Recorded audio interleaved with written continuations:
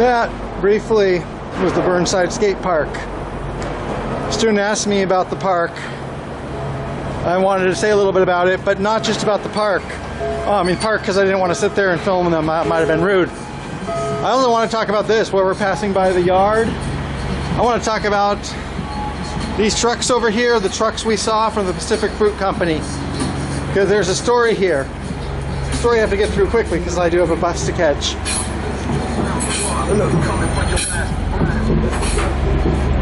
Burnside Skate Park was built in 1990 by a couple of skating enthusiasts.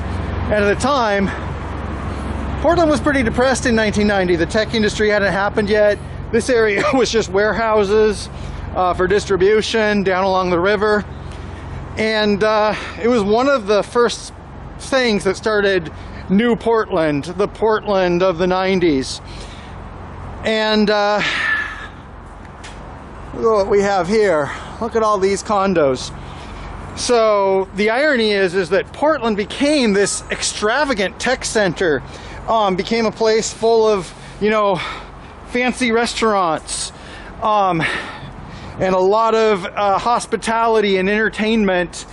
And that started because one day in 1990, I think it was on Halloween Day, that's what I read, a couple of skating enthusiasts got a couple of bags of concrete and started making that skate park on their own.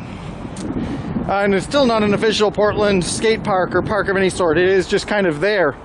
And that area has led to this, where there's expensive condos. And they still coexist. And in fact, the pre-1990, the warehouse district also exists there. And it's also interesting because the Burnside Skate Park is underneath the Burnside Bridge and by the Willamette River. That's what separates Portland into quadrants. And so it really is in the center of Portland and it's at the pivot of Portland between Old Portland and New Portland, east and west, north and south. So, you know, you take one thing like that one little activity and what Portland is today owes all of this success, all of this money, and I guess all of its problems to people in the 90s who were hobbyists and doing things for fun and building their communities. And, uh, you know, I wish I could talk more about the skate park from that angle of like skating and stuff. I'm not an expert on that, but I am an expert on this neighborhood. I worked here uh, near here at Free Geek, which is also a group of you know friends wanted to do something for the community and formed a cultural legacy. But when you look at all this shiny, shiny glass, remember where it started from. And I'm not complaining about it because, you know, people are living here, people are doing things here. But I want to give credit where credit is due.